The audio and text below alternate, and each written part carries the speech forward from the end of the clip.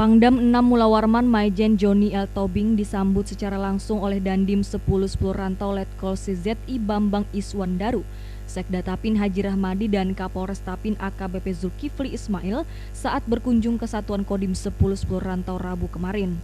Kedatangan Maijen Joni yang didampingi oleh Danrem 101 Antasari Kolonel Kavaleria Noor Adil di Kalimantan Selatan. Utamanya ialah untuk melakukan pengecekan pengamanan pilkada di Satuan Kodim Hulu Sungai Selatan dan Hulu Sungai Utara. Namun kesempatan ini juga dimanfaatkan Maijen Joni untuk mampir ke sejumlah satuan Kodim dan Koramil di wilayah Satuan Kodam 6 Mulawarman, termasuk Kodim 10 10 Rantau yang mana tujuannya tidak lain ialah untuk silaturahmi sekaligus mengetahui kesiapan operasional Satuan Kodim.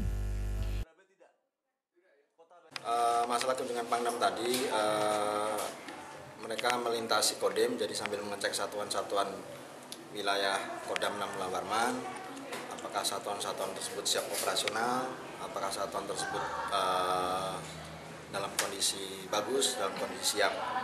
Beliau menyempatkan untuk berhenti di beberapa tempat yang dilalui di satuan-satuan militer yang dilalui. Jadi beliau sebenarnya adalah kunjungan kerja ke Kodim Kandangan, kemudian ke Amuntai dalam rangka pengecekan uh, kesiapan pemilkada, pengamanan pemilkada.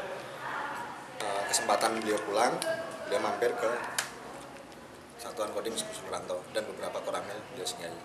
Jadi akan mengecek bagaimana anggota silaturahmi tatap muka dengan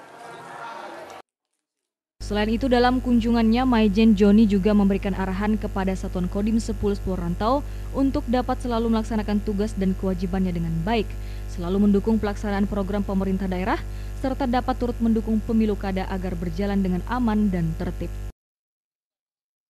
Arif Tapin TV melaporkan.